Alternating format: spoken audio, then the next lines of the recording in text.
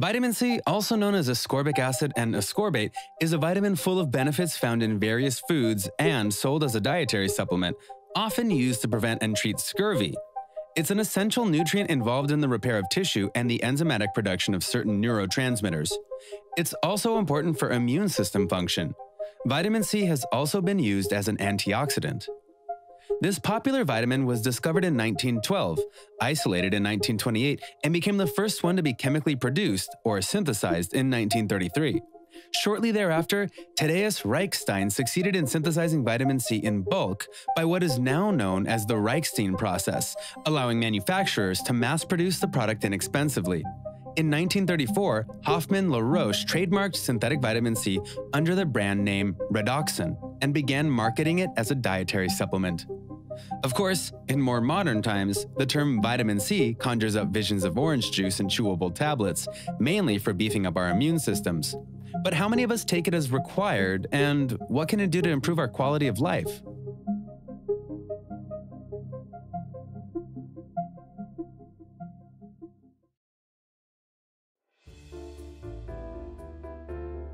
Naturally present in some foods, added to others, and available as a dietary supplement, vitamin C is a water-soluble vitamin that is an essential dietary component because of the fact that humans, unlike most animals, cannot synthesize it endogenously.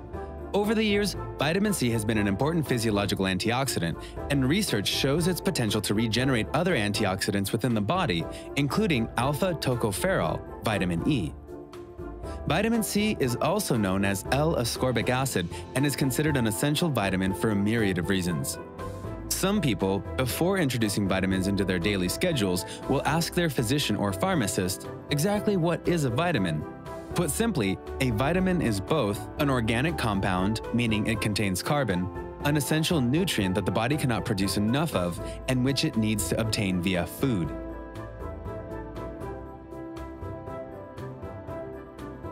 As we have covered already, the human body does not store natural vitamin C, so this nutrient must be obtained through an everyday diet.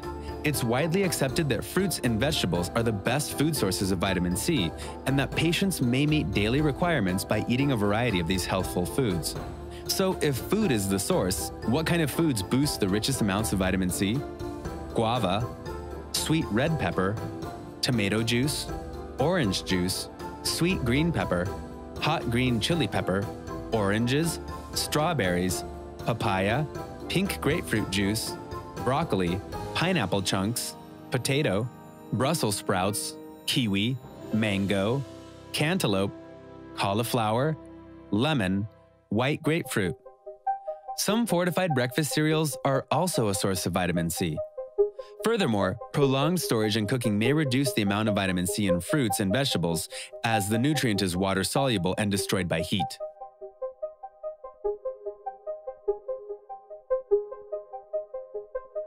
Vitamin C is required for tissue growth and repair in all parts of the body and is often used to form an important protein used to make skin, tendons, ligaments, and blood vessels. It also heals wounds and forms scar tissue. Three of its most common uses include immunity. Vitamin C contributes to immune defense by supporting various cellular functions of both the innate and adaptive immune system. Conversely, a vitamin C deficiency normally impairs immunity and increases susceptibility to infections. Skin health. What does vitamin C do for your skin? Its antioxidant properties and its role in collagen synthesis make it a vital molecule for skin health. Wound healing. Vitamin C is often aligned with wound healing because of its role in collagen formation. Clinical studies provide evidence that vitamin C may significantly accelerate wound healing in subjects without a deficiency.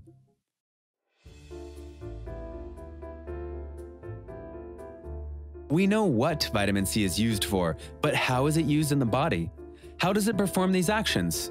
In the body, vitamin C acts as an antioxidant, helping protect cells from damage caused by free radicals, which are compounds formed when our bodies convert the food we consume into energy. The body also needs vitamin C to create collagen, a protein required to help wounds heal. Acting as an antioxidant, as we previously suggested in the overview, protecting cellular components from free radical damage is one of the more vital roles that vitamin C performs. Research shows that the vitamin may scavenge free radicals directly in the aqueous cell phase and the circulatory system. Antioxidants are compounds that inhibit oxidation, a chemical reaction that can produce free radicals, thereby leading to chain reactions that may damage an organism's cells. Put more simply, though, you can think of antioxidants as substances that remove potentially damaging agents in a living organism. How is it that the body already contains free radicals naturally? Free radicals are the natural byproducts of chemical processes, such as metabolism, with the body's ability to transform air and food into chemical energy dependent on a chain reaction. What's more, free radicals attack foreign invaders in our bodies floating through the veins, making them a crucial part of the immune system. On the flip side of this coin, is it possible for free radicals to cause damage? According to sources such as Rice University, the Harvard School of Public Health, and the Pharmacognosy Review, there are a number of elements that could constitute a danger of free radicals, including a domino effect that can eventually disrupt and damage a whole cell, a free radical chain reaction that may lead to broken cell membranes, which can then alter what enters and exits the cell, oxidative stress, occurring when there are too many free radicals and too much cellular damage, and connections to aging. What's important to take away from this section is that vitamin C is a vital antioxidant. When the body oxidizes vitamin C itself, it regenerates already oxidized substances such as iron and copper to their original active form. In the intestines, it protects iron from oxidation and also enhances iron absorption. In the cells and body fluids, it helps to protect other molecules, including the fat-soluble compounds vitamin A and E and the polyunsaturated fatty acids. In attempting to make this as easy as possible to understand, imagine that the body accomplishes communication between neurons by moving chemicals across a small gap, which is called the synapse. Chemicals called neurotransmitters are released from one neuron at the presynaptic nerve terminal. Then, the neurotransmitters cross the synapse where the next neuron may accept them at a specialized site called a receptor. What does this have to do with so-called neurotransmitter synthesis? As a general rule, the synthesis of small molecule neurotransmitters occurs within presynaptic terminals, and the enzymes the body needs for transmitter synthesis are actually synthesized in the neuronal cell body and transported to the nerve terminal cytoplasm via a mechanism called slow axonal transport. Beyond playing an instrumental role in protecting the enzymes, fats, and vitamins in the body, antioxidants help to delay or prevent certain types of damage to cells. Studies have shown, however, that antioxidants may help counteract the unstable molecules that comprise free radicals, in turn possibly counteracting the negative effects of oxidative stress. In fact, recent studies discovered that antioxidants may reverse some of the symptoms of aging, such as memory loss. In summary, neurotransmitter synthesis plays a role in enzyme reactions, reducing oxidation, and fighting neurodegenerative disease, including high oxidative stress. When it comes to wound healing, the primary role vitamin C plays is to assist in the formation of collagen, often considered the most important protein of connective tissue. Let's take a moment to talk about collagen synthesis and how it relates to vitamin C. Vitamin C is absolutely essential for the synthesis of collagen. In fact, recent research demonstrates that this vitamin acts directly on DNA to increase the transcription rate and to stabilize the pro-collagen messenger RNA. By enhancing collagen synthesis, and in connecting to the previous section wherein we mentioned memory loss, vitamin C also boasts anti-aging benefits. In general, vitamin C is involved in all phases of wound healing, including inflammatory phase, vitamin C is required for neutrophil apoptosis and clearance, proliferative phase, vitamin C contributes towards synthesis, maturation, secretion, and degradation of collagen. Maturation phase Deficiencies affect this phase by altering collagen production and scar formation. Collagen is the most abundant protein in the human body, found in the muscles, skin, bones, and tendons, ultimately acting as the substance that holds our bodies together. No small feat, to be sure, but if collagen is so formidable, what exactly does it do to warrant such a coveted reputation? Collagen occurs throughout the body, but most notably in the skin, bones, and connective tissues. In fact, collagens are the main structural component of connective tissue, resisting tensile or stretching forces. When it comes to roles of collagen in our bodies, think of it this way. Collagen is to the tissues in the human body what steel rods are to reinforced concrete.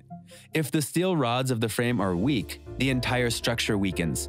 Collagen-rich foods include beef, chicken, fish, beans, eggs, and dairy products. Additionally, collagen helps to support lean muscle to burn fat more efficiently, which could lead to weight loss. Supports cartilage, tendons, muscles, and ligaments in joints for better flexibility and less pain. Helps increase serotonin levels without increasing dopamine, providing for a better quality of sleep.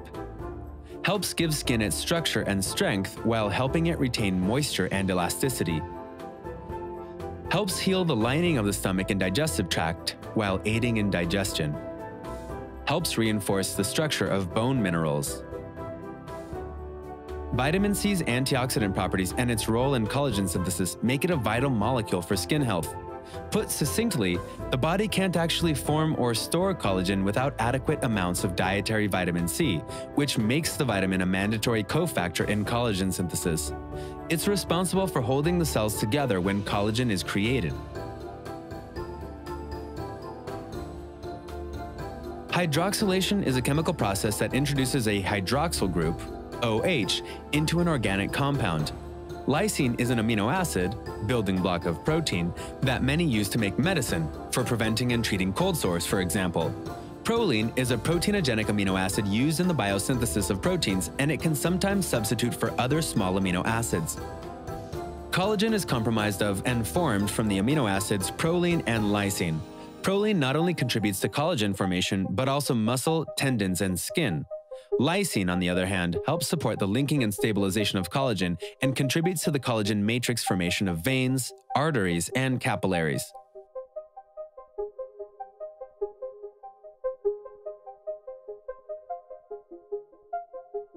Perhaps, better yet, we should ask the question, what happens when there isn't enough vitamin C in the body?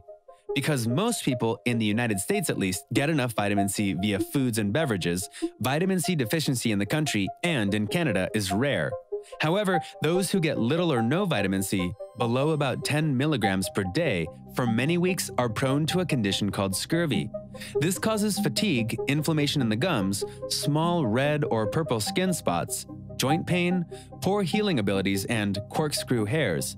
There are additional symptoms of scurvy, including depression and swollen or bleeding gums, or loosening loss of teeth, which brings us to our next section. As we mentioned above, persistent lack of vitamin C in the diet can lead to scurvy. If you eat a balanced diet, it's pretty easy to get enough. Important to note is that cooking certain foods can destroy whatever vitamin C is in them, in fact, water-soluble nutrients like vitamin C and vitamin B seem to be the most vulnerable to degradation in processing and cooking, and depending on the method, loss of vitamin C during home food preparation can typically range from 15 to 55%, according to a review by researchers at the University of California at Davis. Further, there are some risk factors regarding a diet low in vitamin C associated with pregnancy, breastfeeding, high fever, inflammation, chronic diarrhea, surgery, smoking, burns. One of the primary reasons people take vitamin C, notably in supplemental form, is to boost their immune system response, as it's involved in many aspects of the immune system. Remember when you were always told as a child to drink your orange juice or take your vitamin C so you could stay healthy and strong? Indeed, these words of wisdom were not suggestions in a proverbial vacuum. Vitamin C helps encourage white blood cell production, known as lymphocytes and phagocytes, which help protect the body against infections. What's more, vitamin C is a powerful antioxidant that can strengthen your body's natural defenses.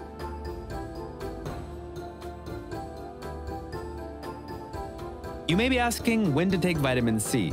As a dietary supplement, take 1,000 milligrams up to three times daily or as directed by a physician. Some recommended vitamin C supplements include ascorbic acid, ascorbyl palmitate, vitamin C ester, sodium ascorbate, calcium ascorbate. While it is likely safe to take in general, there are some potential side effects of vitamin C that include redness and warm feeling of the skin or flushing, headache, nausea, vomiting, or diarrhea, upset stomach during or after eating, feeling faint, We always recommend consulting a doctor to determine how much vitamin C to take per day, but excess vitamin C supplements can cause diarrhea, nausea, vomiting, heartburn, stomach pain, headache, and insomnia.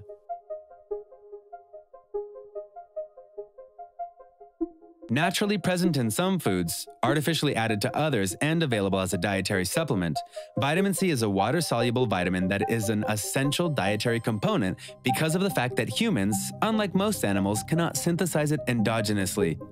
Over the years, researchers viewed vitamin C as an important physiological antioxidant, and research shows it has potential to regenerate other antioxidants within the body, including alpha tocopherol, vitamin E. In the body, vitamin C acts as an antioxidant, helping to protect cells from damage caused by free radicals, which are compounds bodies form when they convert the food we consume into energy. The body also needs vitamin C to create collagen, a protein required to help wounds heal. Though there are a plethora of vitamin C supplements available to choose from, such as vitamin C capsules, it is very important to see a doctor for diagnoses, accurate medical information, and permission before taking any such supplements. Additionally, the above statements have not been evaluated by the Food and Drug Administration, and the products suggested in this article are not intended to diagnose, treat, cure, or prevent any disease. You can purchase vitamin C supplements in powder and capsule form at bulksupplements.com. The company is an industry leading manufacturer and distributor for pure dietary supplements. BulkSupplements.com is not just a consumer brand, it also supplies pure ingredients to other foods and supplement brands to make their products. All products at bulksupplements.com are manufactured and tested according to current and proper manufacturing practices. Are you interested in trying vitamin C as a dietary supplement? Contact bulksupplements.com to place an order.